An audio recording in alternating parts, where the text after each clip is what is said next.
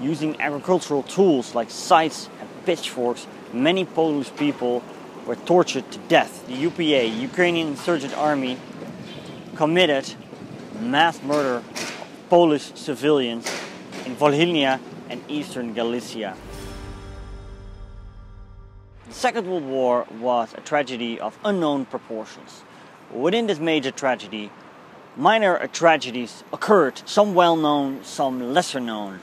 In this video, we're going to talk about one of the lesser known tragedies during the Second World War.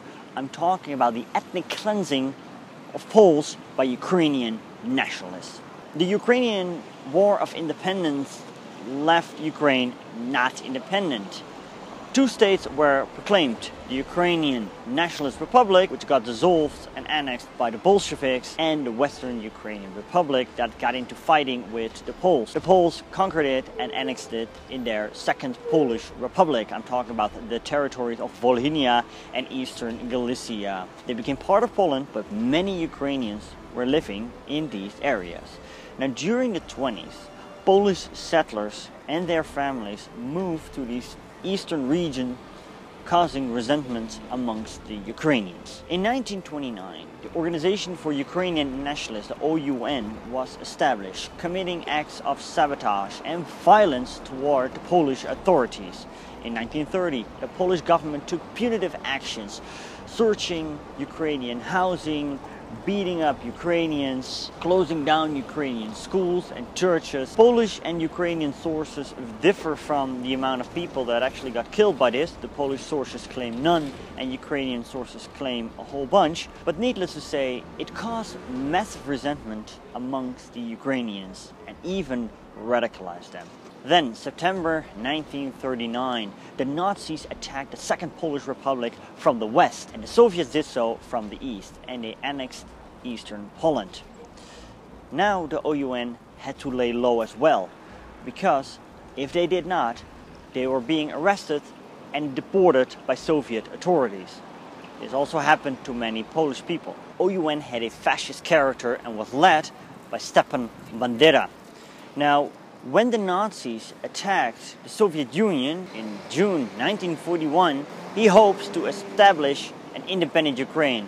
However, the Nazis they prevented this. So no independent Ukraine. And Stepan Bandera was eventually arrested by the Nazis. The OUN lived on and they helped the Nazis with the mass murder of the Jewish population in Volhynia.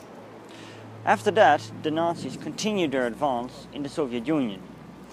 Now, Jews were gone, the Russians were gone, the Nazis were gone and sparsely occupied the area, but the Poles, they were still there. From the beginning of 1943, the armed group of the OUN, the UPA, Ukrainian Insurgent Army, committed mass murder of Polish civilians in Volhynia and eastern Galicia.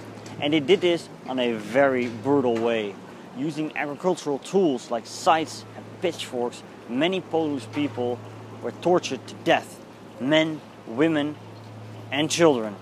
Total death toll comes down to a hundred thousand and can be described as a pure genocide. Now, eventually, the OUN and the UPA found itself fighting against everyone, against Soviet partisans, against the Red Army, against the Nazis, against the Polish underground, against the Polish Communist Army, and even the Czechoslovak Army, till in the 50s. And eventually they were defeated.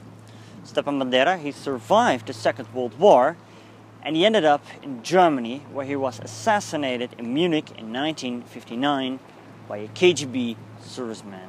And this made him a hero among Ukrainian nationalist. Others see him as a Nazi collaborator and a fascist mass murderer. So what do you think? Polish people, Ukrainian people, I'm really curious what you think of it. Leave your thoughts down below. I'll read them all, and until next time.